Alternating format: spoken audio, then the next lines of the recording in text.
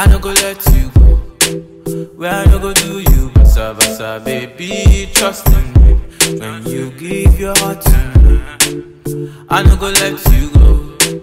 Where I no go do you, basa basa, baby, trust in me. let's just jump into this look all right so i'm going in to go fill in my brow just like i would in every other video of mine if you've watched but i'm going to link a video that i have a detailed brow routine um, down below. So if you're interested in that you just click on it and watch how I actually do my brow. Um, there's no new method to it today. It's just the same old same old filling my brows. Right now I'm actually going in to go clean it out and I'm um, going in with the LA Girl Pro Conceal in the shade Toffee and I'm just applying that using my flat concealer brush and I'm gonna do it you know whatever it is I do for the left side of my face I'll do for the right side of my face of course because we're going for a uniform look. But right now I'm actually going in with the blending brush trying to blend out all those concealer to make sure there are no hash lines. And of course I'll do for the other face as well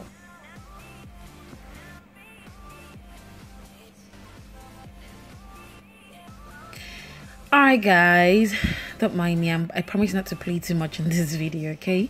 So now I'm going in with my NYX Jumbo Pencil in the shade Milk and I'm actually going in with a blending brush to blend all that into my um, lid.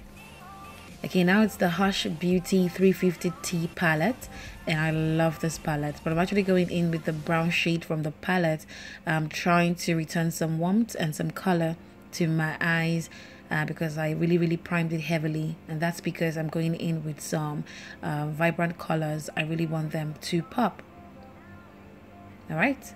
So now I'm going back into the lid with that brown shade. And I'm going to just make sure I put in as much color as I think is uh, necessary and I'm going in with the orange color from the same palette and I'm going to just you know applying some warmth to the eye some more and I'm also using it as a transition shade.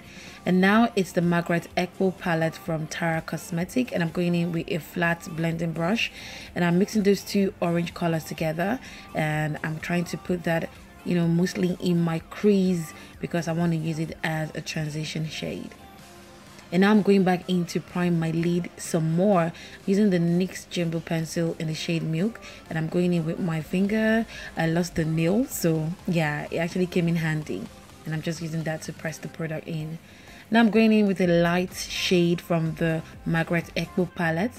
And I'm just patting that in the outer corner of my eyelid. And whatever I do for the left I do for the right. Even if it's non-camera at least you know what I'm doing. Yeah so I'm just using that as a base you know for the darker yellow that I'm actually putting on my lid right now. And I'm using a flat eyeshadow brush to apply that.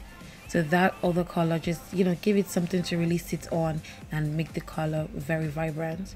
And that's the very first color from the Ankara right on my head and I'm going in with a light shade of pink and I'm going to use that to you know form a base for the darker shade of pink that I'll be using later. And it's all from the Margaret Ekpo palette uh, from Tara Cosmetic. And I'm also using the same flat eyeshadow brush to apply that. Now I'm going in with a darker shade of pink and if you'd notice I didn't start from the very beginning where the pink is because I wanted it to you know transition into each other. I just didn't want a very dark pink you know, after the yellow, just wanted it to flow. And that's why I'm leaving a little bit of space between the light one and the dark one. And I'm going in with a dark blue shade from still the same palette. And I'm applying that on the outer corner, trying to draw um, like a wing liner kind of thing. But I'm going to connect it to my crease area and almost like a smoky eye, but not really a smoky eye, if you understand what I'm going what I'm saying but yeah i'm using the flat foundation brush to apply that and trying to blend as i go. And that will be the third color from the headscarf on my head as well seeing that the look is actually going to mirror the scarf on my head.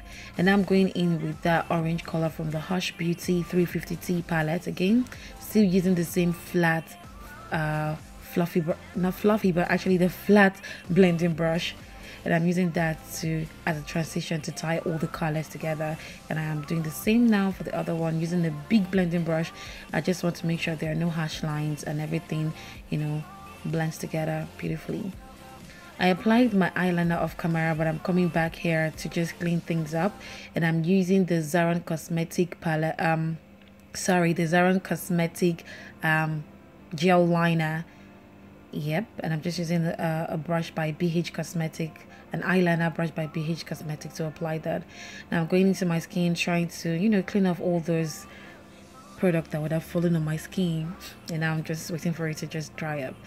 Uh yeah i applied way too much primer but for primer i'm using the pond's oil control cream and i'm using the formula for very oily skin because i have really oily skin.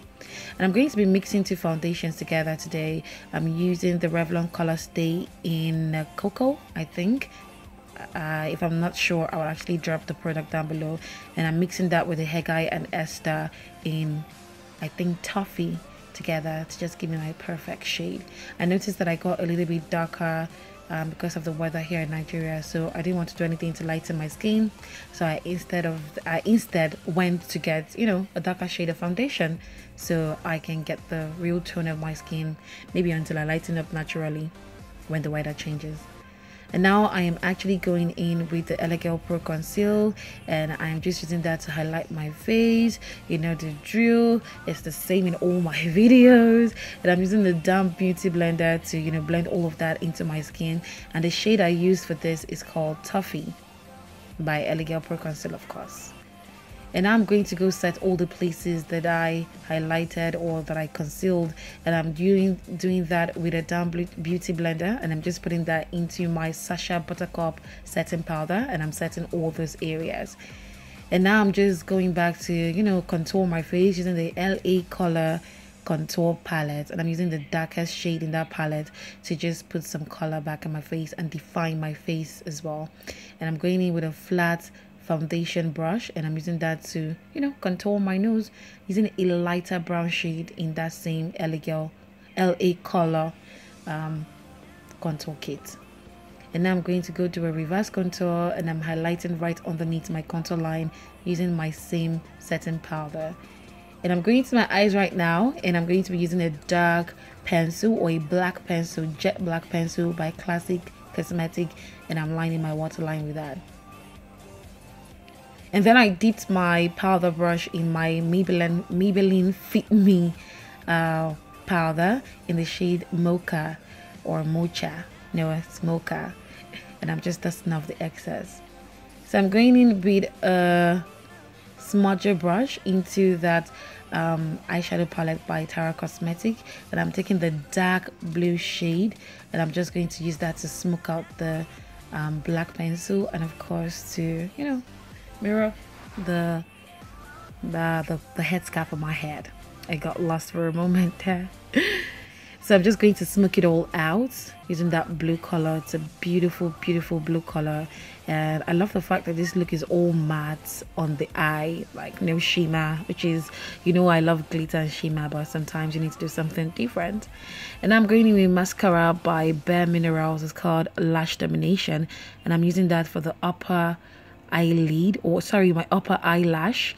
And for the lower lash i'm going to go in with mega volume by i think mega volume should be by um LA Girl. I'm not really sure. I'm just going to put down all the products that i used in the description bar. Don't worry.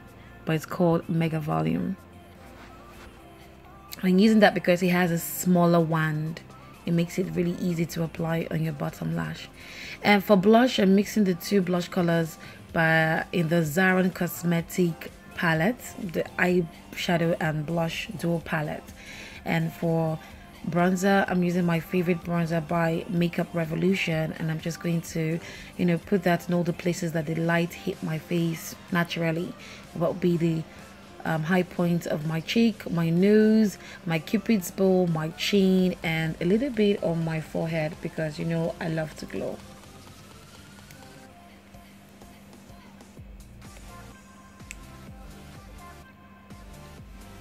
and I applied my lashes off camera but for, for lashes I'm using a pro I'm using one by Voan Cosmetics it's a Nigerian lash company and I absolutely love their lashes because they are very very affordable and they're really beautiful.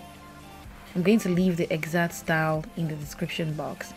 And for lip liner I'm going in with this deep plum shade by Zaron Cosmetic and it's called Vivid I'm just going to use that to line the outer portion of my lips and that's because of that deep purple shade that you can see in the scarf. It's hidden somewhere. It's not really that it's not showing that much but it's still in that scarf. So I'm just trying to mirror that.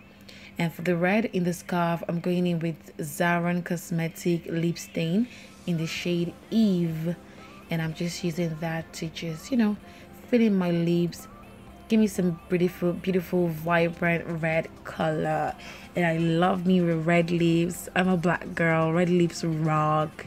And this lip color is just beautiful.